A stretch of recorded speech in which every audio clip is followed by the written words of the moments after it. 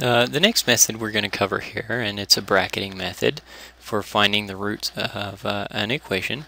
So it's a bracketing method, and it is called the uh, false position method.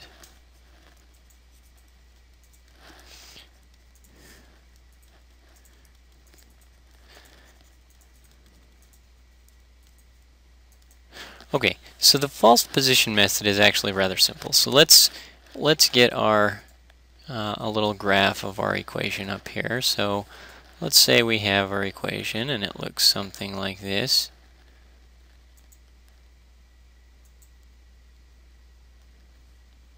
Maybe it shoots off to infinity there. And let's say, uh, to start off, of course, we need to bracket a root.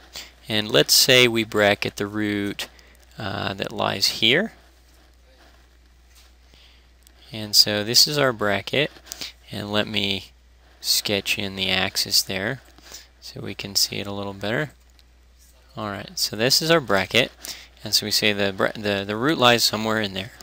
And the false position method, what it does is it says, okay, let's evaluate our um, function at these two points again. So we evaluate it there, it's positive. Uh, we evaluate it there, it's negative. Well, that's nice. Positive there, negative there. Okay. So then uh, the next thing we do is we say, okay, well, uh, let's just draw a straight line between these points. And uh, this is my uh, lousy attempt at a straight line. But let's just draw a straight line between this point and this point. Okay, so this is also called the linear interpolation method. And so we draw a straight line between those two points and uh, we can easily find the point at which that intersects with the axis here.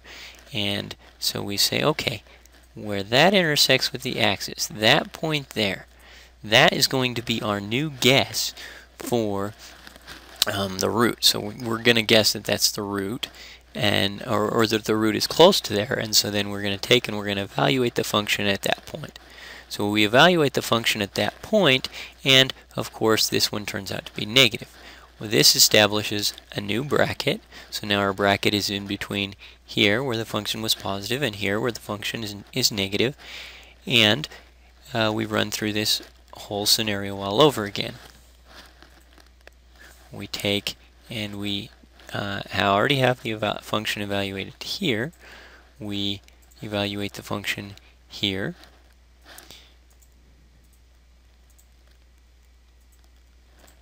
And we see where the line going straight between those two points